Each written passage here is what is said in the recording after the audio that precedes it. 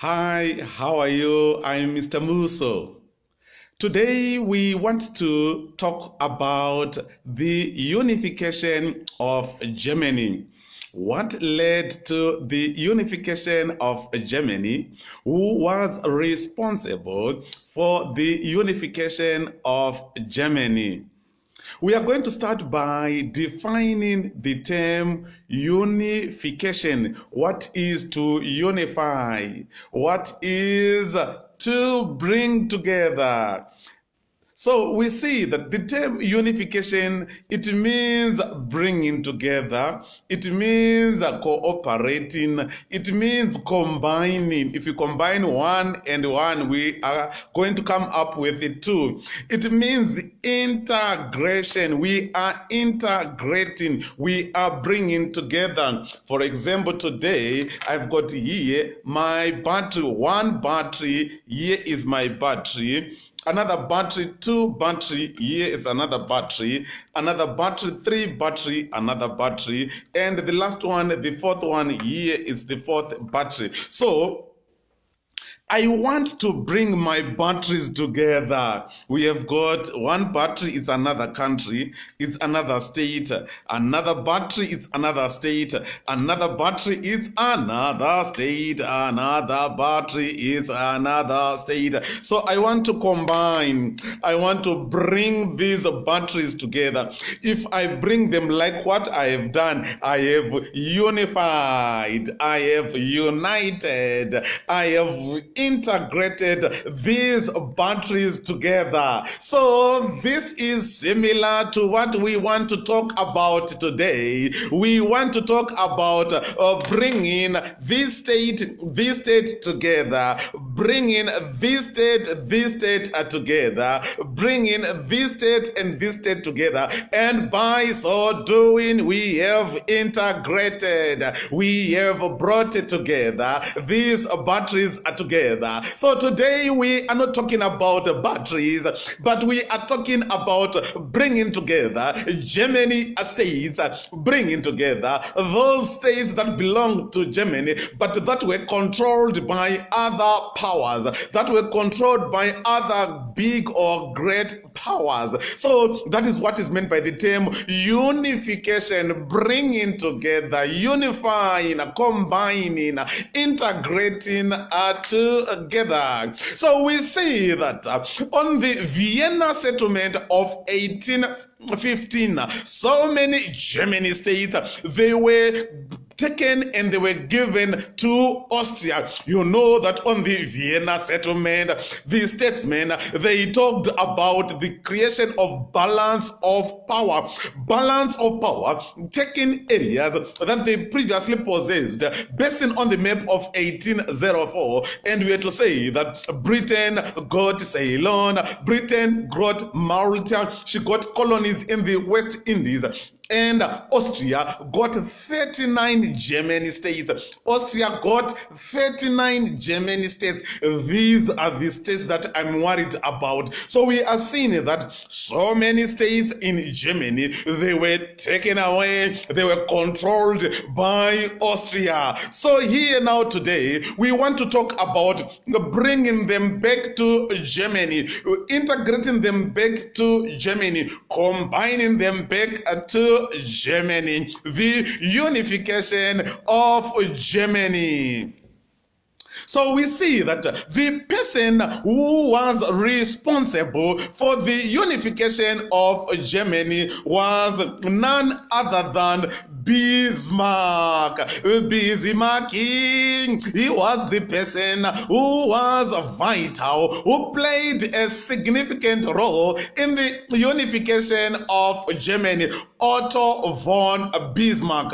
Otto von Bismarck, he was invited by William the First, the Kaiser of Germany. Kaiser to invite Bismarck. Bismarck come, Bismarck come. I want you to unite. I want you to bring together the Germany states. I want you to make sure that Germany states were going to be brought together. Why? It is because I am having challenges. The liberals, the Republicans, the socialists, the communists, the Catholics, they are opposing what von Roon, what von Moltke want. They wanted to increase the army. Von Roon, he was the minister of war. He wanted the army to be increased. Von Moltke, who was the chief of the general staff, he wanted the army also to be increased. These two, they were appointed by William the First, who was more aggressive than William the Fourth, who was succeeded by William the First. So when these were brought in the army, they wanted the army to be increased from 500,000 to 750 what a thousand. But now for that to be possible, that motion was supposed to be debated in the parliament. It was supposed to be deliberated in the parliament. What should we do, gentlemen? I am here, von Roon, the minister of war. I want the army to be increased.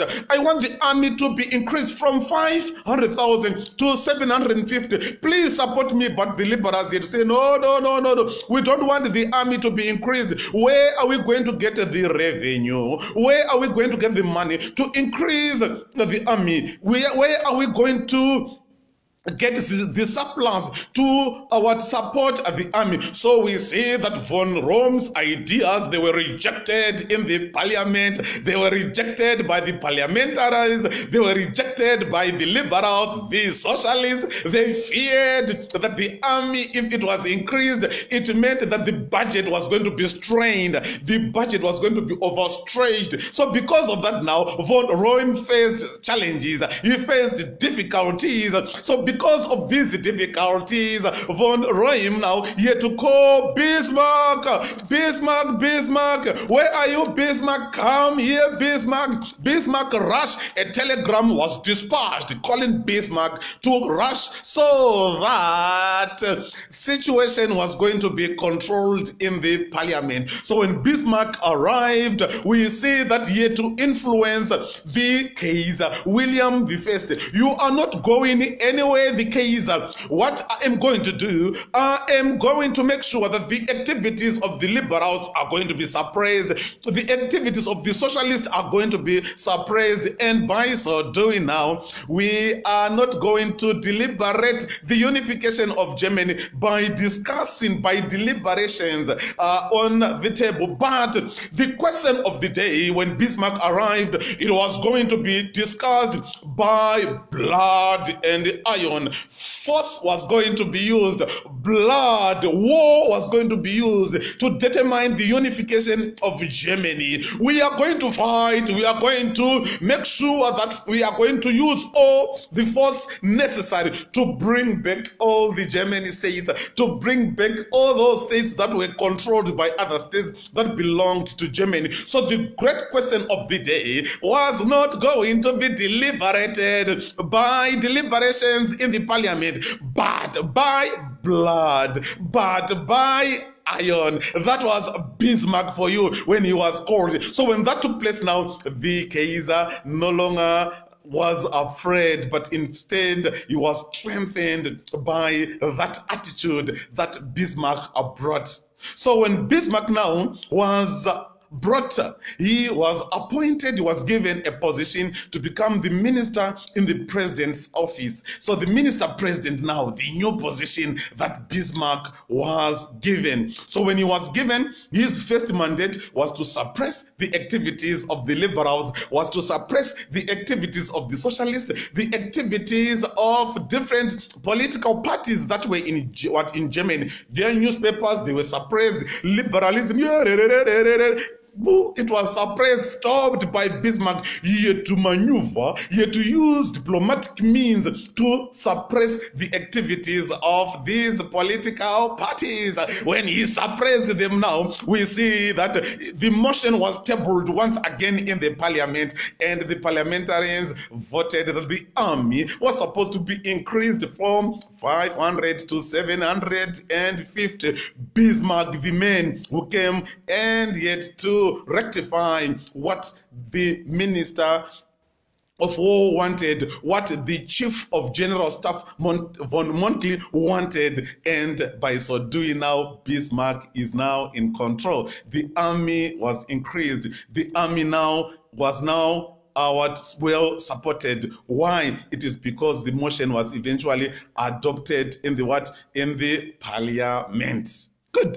So having said this, what can we say now? We now see Bismarck now sitting down, like what I've done. Mr. Muso is now sitting, lecturing on the unification. Bismarck also sat down. What should I do now? So that this process could start. Let's now start the ball rolling. What should we do now? We see that Bismarck yet to devise ways in which he was supposed to unite to bring what together these Germany states that were controlled by the other powers, especially Austria.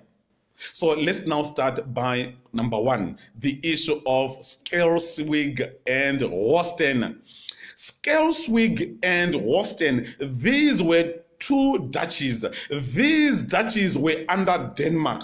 The people who were in Schleswig were the Danes, the Danish people. The people who were in Holstein were the German speaking people. So we see that a revolt started to take place in these two duchies. Why? It is because the people in Holstein they resisted to follow to be united with the people in Schleswig so that a single what constitution could be adopted, could be used. So the people in Holstein, yeah, yeah, yeah, we want to be independent. We are Germans, we are not the Danes. We don't want what is taking place. So there was a chaos, there was a problem in Holstein. So when this problem took place now, it was difficult for Bismarck to intervene and assist the people in Holstein. The people in Holstein, like what I said, they were German speaking people. So, because of that, now Bismarck yet to mastermind, yet to use diplomacy. What should I do now? So, we see now Bismarck devising a way in which he was going to assist the people in Holstein. Then, after assisting them now, it meant that he was going to have support from other countries in Europe. He was going to be supported by other powers in Europe because if he immediately assisted the people in Holstein, it meant that he was going to be attacked by Austria. Austria wanted to impose Augustenburg. Augustenburg wanted to become the monarchy of these two duchies. So to avoid that conflict, Bismarck he had to sit down, he had to mastermind, he had to master, he had to organize himself so that he could isolate Austria then after that now you could be in good books with other powers. Then after that you could attack holstein and assist the holsteins when the people in holstein were going to be assisted they were now going to be incorporated into germany unifying them with germany. So the first step that was taken by bismarck it was to isolate russia from Austria. It was to isolate Russia from Austria. So we are having a problem with Austria Austria is a problem. You are a problem. If I take Holstein, you attack me. If I incorporate Holstein to Germany, you are going to attack me. So you are a problem. You are Austria. You are a problem. So I want to isolate you. I want to sundira you away. I want to push you away so that eventually I'll take Holstein. So the first step was to isolate this Austria from so many powers that were in Europe. Which were these powers that were in Europe? I'll start with my dear friend Russia, Russia, Russia. So, how can I isolate Austria from Russia? So, let's start with Russia. So, we see that I will take you back Russia on the Vienna settlement was given three quarters of Poland. Then the capital city of Poland, Posen, it was given to Prussia, and Prussia was compensated by being given two fifths of Saxony. You remember the issue of compromise that took place on the Vienna settlement. So, three quarters of uh, Poland was given to Russia. So it meant that so many people in Russia they were controlled. So many people in Poland they were controlled by this country, which we are calling what Russia. So what happened is that the people in Poland revolted against the Tsar Alexander II of Russia. They to say, we don't want you, we want to be independent. Yeah, yeah, passing Russia, we don't want Russia. Yeah, we want to be independent. Yeah, yeah, yeah, yeah, yeah. People in Poland, the Poles, revolting against Russia. So when they revolted against Russia, we see a revolution starting in what? In Russia. The Poles revolting against Russia. So they fled Russia. So when they fled Russia, they went to, to Prussia. So when they arrived in Prussia, Bismarck had to call them, hey, come here, Poles, come here, people in Poland, come here. I want to assist you, come here. So those people who fled from Russia, that is the Poles, they were called by Bismarck. So when they were called by Bismarck, he had to now organize them and he had to take them back, go back to Russia. So he had to take them back to Russia. So he to inform the Tsar of Russia that those people who were causing problems, the Poles, they are here, but I'm sending them back to you again deal with them. So the Poles, they were returned back to Russia. So when they were returned back to Russia, the Tsar of Russia, sharp, sharp, sharp. You are so good, Bismarck. I love Thank you for this gesture. I love you so much, Bismarck. So, what happened? We see that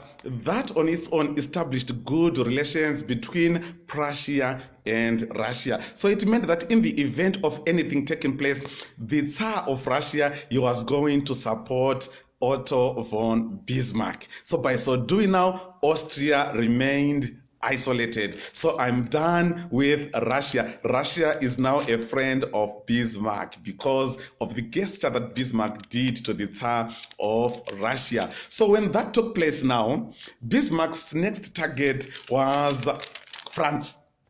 He wanted to be in good books with France. So he had to send the ambassador of Prussia to France to go and meet the leader of France who was known as Napoleon III. So Napoleon III met the ambassador of Prussia and the ambassador of Prussia promised Napoleon III of France that in the event that France supported Prussia in the eventuality of a war taking place against Austria, Bismarck was prepared to give France the areas along the Rhine. He was going to give him Rhineland. Serious, yes. He sent me with this message. If you remain neutral, if you support Bismarck, in the event he attacks Austria, you are going to get Rhineland. Yeah, serious. Yeah, yeah, yeah. Napoleon was so pleased by this. Then after some time,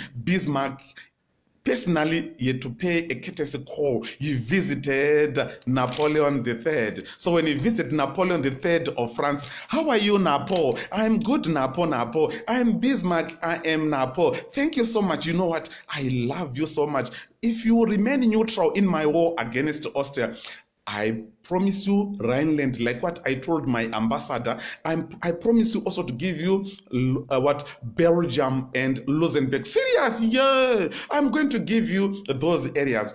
Bismarck knew the weaknesses of Napoleon III. You knew that Napoleon III was unpopular in his country. He was trying to revive, to revamp, or bring back that glory that the people of France was the people of France were associated with. He tried to please the people in France. So Bismarck knew about this. So Napoleon III was so much pleased that he was going to be given Rhineland, he was going to be given Belgium and also Luxembourg. So as a result of that now, we see that Bismarck and Napoleon III were now friends. So it meant that what Austria was what? Isolated. We are seeing the diplomatic means. Bismarck, a master planner. So when he had done that now, Bismarck's next target was my dear country, Italy. So he had to approach Cavour of Italy that if Italy remained neutral in this war, if Italy supported Bismarck in his in their war against Austria, Italy was going to be given Venetia. Are you serious? Yes, I'm going to give you Venetia. You're going to get Venetia. So because of that now, we see that Italy had to support uh, what a Bismarck, but Italy had to stress that this war it was supposed to take place in the next three months. Then after that, now we are going to see that Italy was going to remain a friend of what of Bismarck. So when this took place, now we see that uh, Italy now is now a friend of what of Bismarck. So Bismarck he had successfully managed to isolate Austria from Russia, from France, from Italy. Bismarck, the last country that he was not worried with was Britain. Bismarck knew that the chances were slim that Britain was going to support uh, what Austria in the event of him attacking Austria. So he did not give much uh, what uh, what attention to Britain because he knew that the chances they were very slim. So when this was done now, what did Bismarck do now? He now looked for an opportunity. He had to look for an, a catalyst that he was going to use to uh, what, uh, uh, what find a war with uh, what Austria. He had to look for an opportunity to find to uh, have a war with what with Austria, and this opportunity came when he had to accuse the Duke of Augustenburg. The Duke of Augustenburg, Bismarck knew that they were interested, the Duke was interested in ruling Schleswig and Holstein. He knew that Augustenburg has so much interest in ruling what? Uh, the Duke or to, in ruling what the uh, what the duchies of Schleswig and Holstein. So Bismarck started to spread falsehood, or he started to spread lies that the Duke of Augustenburg still was or was pressurizing. He was having what a pressure putting a lot of pressure in Schleswig and Holstein so that she could control eventually Schleswig and Holstein. So when that took place, that rumor started to spread. Ah, the Duke of Augustenburg the problems that are taking place in Schleswig and Holstein, it is because of the Duke of Augustenburg. So because of this now, we see that that rumor now what surprised so many countries in what? In Europe. Surprised so many people in Europe. But it was it was a lie. Those were rumors falsehood information that were channeled by Bismarck. He wanted to use this as a catalyst so that he could attack Austria. So when he did that now he had to send troops in Holstein why did he send troops in Holstein that is Bismarck. You are saying I'm protecting the German speaking people in Holstein so when that took place now Austria had to say look at what Bismarck had done. Look at what Bismarck had done, but no one listened to Austria. So when no one listened to Austria, we see that Austria had to declare war against Prussia. Austria had to send troops to go and attack a Bismarck in Holstein. So by so doing now, Austria was trapped Bismarck a master planner, Bismarck a diplomat. So when Austria attacked Prussia in Holstein, we see that Austria was defeated. She was defeated. She was not thoroughly prepared for this war. So when she was defeated by Prussia, Prussia was not supported by Russia. She was not supported by France. She was not supported by Italy. She was alone. So that on its own led her to be defeated. So when she was defeated now, we see that Austria was forced to sign the Treaty of Prague in 1866. In this treaty now, Austria lost areas in the northern side uh, of what uh, of uh, Austria lost areas that were on the northern side. She also lost Schleswig and Holstein. So Schleswig and Holstein they were taken by Bismarck, unifying them. Schleswig and Holstein they were integrated to German unification of Germany, and we see that Bismarck went on to take areas that were on the northern side uh, or the areas that were on the northern sides come bring, he brought them together. He unified them with what? With the German. So we see areas that were on the northern sides that had German speaking people being taken. Boo, boo, boo, come. They were unified. Schleswig and Western. Schleswig had but Bismarck had to take Schleswig again and Western. Boo, unification of Germany. Now that he had taken areas in the northern side, he had taken Western, including Schleswig. Now Bismarck's main aim was to bring those areas that were in the southern part of France. So we now see Bismarck again renewing his what his what uh what uh what promises to the people in Germany that the Germany question was not going to be discussed by deliberations in the parliament, but by blood and iron. So Bismarck now yet to go back to France. France kept on pestering Bismarck Give me those areas that you promised. Bismarck, he had promised Napoleon III of France areas along the Rhine, Luxembourg, and also Belgium. Give me those areas. Bismarck, you promised me these areas. Give me those areas. I remained neutral when you fought Austria. Give me those areas. But Bismarck could not give France those areas. Bismarck now was now looking for an opportunity to attack France.